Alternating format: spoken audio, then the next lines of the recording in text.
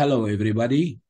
This is Dr. Ali Qassem, and welcome to my channel. They say that daily fruit dish eliminates the risk of diabetes. Really? Let's find out. And if we ask these people back, which fruit does not raise blood sugar?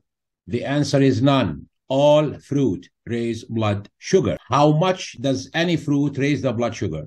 Depending on the glycemic index and the glycemic load, which is the sugar and the carbs in that fruit.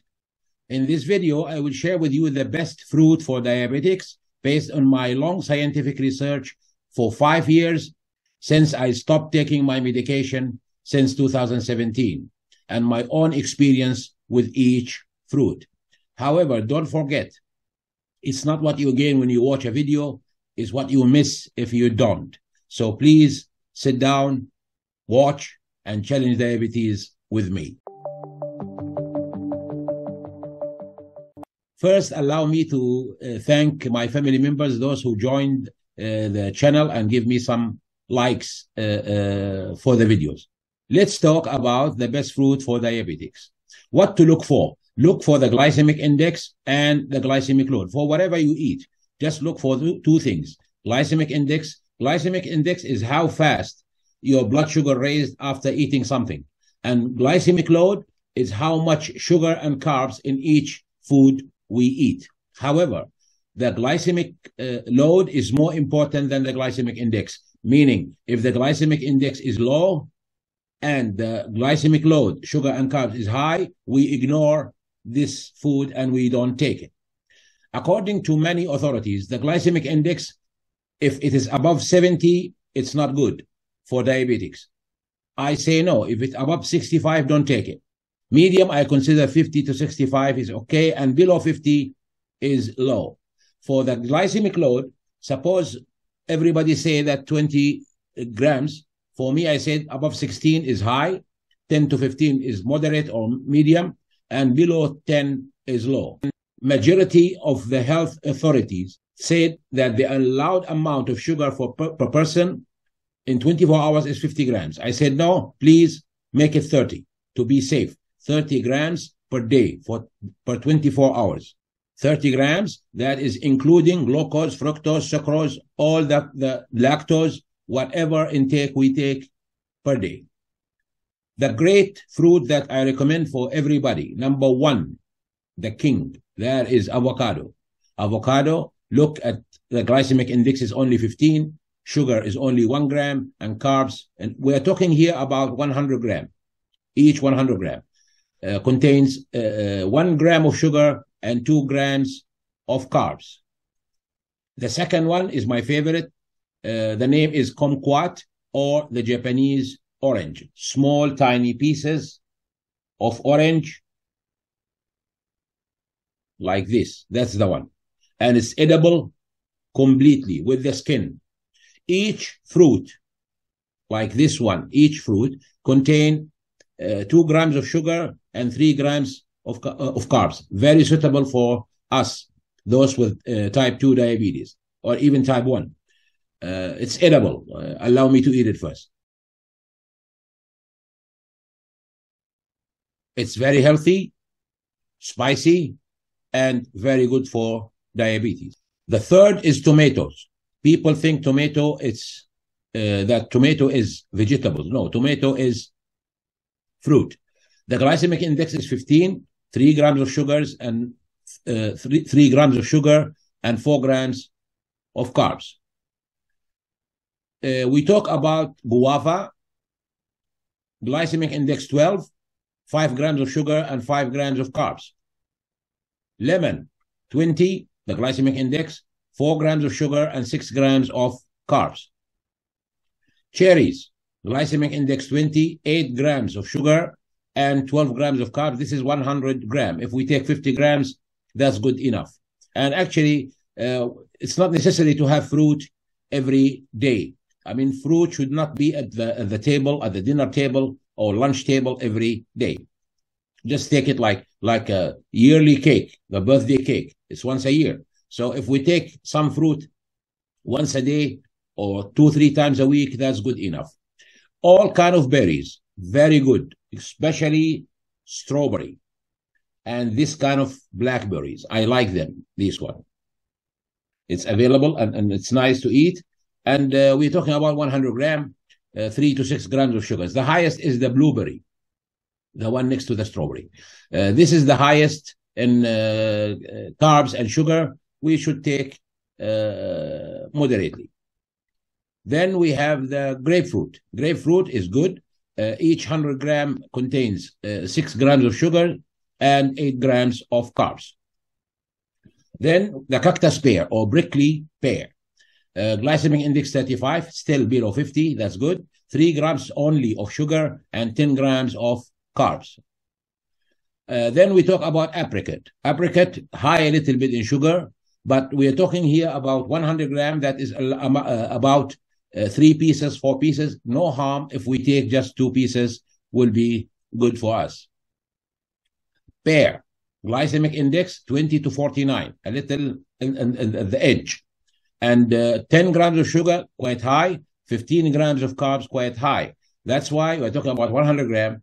Uh, if we are taking the, the green one, the one have not ripe yet, then it's much better and half of the amount of sugar and half amount of carbs. Green apple, 9 grams of sugar and 18 grams of carbs. No harm if we take half piece or half apple once in a while.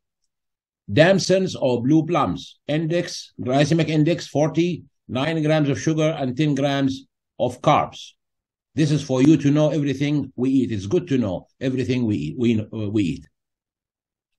Uh, this for three pieces. These these volumes are for three pieces. No harm if we take two pieces once in a while. Coconut. Coconut, the glycemic index is 45, and we have five grams of sugar and six grams of carbs. Uh, for beech, we have glycemic index of 42, 13 grams of sugar, 15 grams of carbs. It's quite high, but no harm if we take half a piece.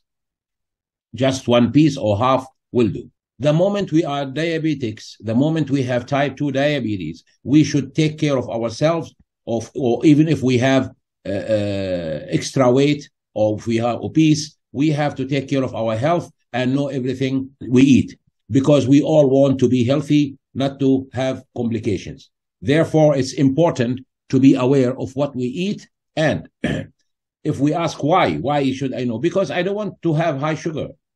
This is the normal blood sugar. It's only one cube, five grams of sugar in the blood. Sometimes it's high. Sometimes we have two cubes, three cubes, four cubes, which is very dangerous for the health. And we won't put in weight the moment we know what we eat and how many carbs there. And by the way, I will never mention calories in any of my videos because calorie has nothing to do with weight loss or even diabetes. The problem is sugar and carbs to avoid also high cholesterol and so on. And the more we know, the better. However, does our body need fructose? No, not at all. We do not use fructose at all. It must be turned into glucose to be used by our body, and that is done by the liver. Meaning, the more we take sugary stuff, fructose, we are giving too much burden to our liver rather than let it rest and take care of other things. By the way, the liver has almost 500 functions in our body. We have to be extra careful with the fructose. That's that's why. Are we extra careful for what we eat? Are we careful about what we eat, what goes to our stomach? I think no. Majority of us know. Why?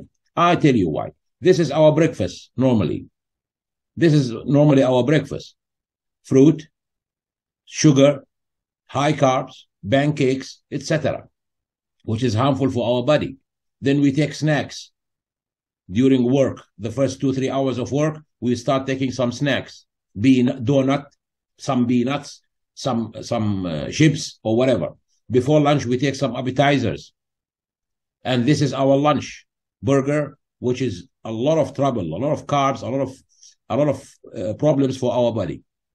And this may be with lunch or after lunch, cola, soda, this, or maybe juice, fruit juice. By the way, fruit juice is, is just sugar, sugar, and water. That's it. Don't take fruit juice. Better, or rather, eat the fruit much better than having the juice. Then we eat some fruit for healthier life, according to what people say. And we have another problem. when we are eating lunch, we call the house or after lunch, what's for dinner? We eat five, six times a day. Then at night, we start snacking while watching TV. And we ask ourselves, why too much fat? Of course, we will become fat. Of course. Since I stopped these habits, I lost 27 kg. 27 kg. I used to be 110, 107. Now I'm 80, 80 plus. That's it. And I stopped my medication for five years plus so far. Four types of medication. Jardiance, Trazodone, Diamicron, and Metformin. I stopped them all together one time. And I'm not advising you to do the same. Just follow yourself. Follow your own body. Uh, uh, do not follow anybody blindly. Follow what your body tells you. How? Be your own doctor. Buy or get a blood testing machine, blood sugar testing machine. And after you try something, just test for yourself and see how does it affect your blood sugar, high or no high. Is it suitable for you or not suitable for you? Try to eat whatever fruit you want and just check after that. And this is the chart for you to check your blood sugar. Green, under the green area or inside the green area, you are safe. In the yellow, you are going to danger. And in the red one, the range, in the red range, you are in danger. However, do not eat this amount of fruit and go and check because you will never know which one raised your blood sugar, which one is not. Be your own doctor and eat moderately and just take care of your health. And if you like this video, please share it with anybody or anyone you care about. Thank you for watching and being here, and I hope to see you soon in another video. Thank you so much.